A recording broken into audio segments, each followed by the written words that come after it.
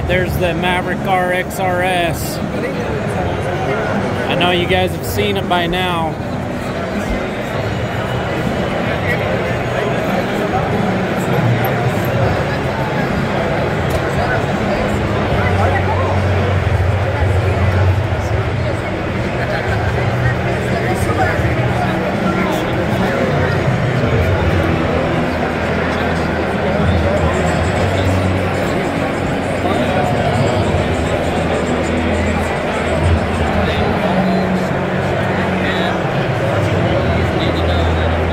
tell you what, we're going to sell a ton of these.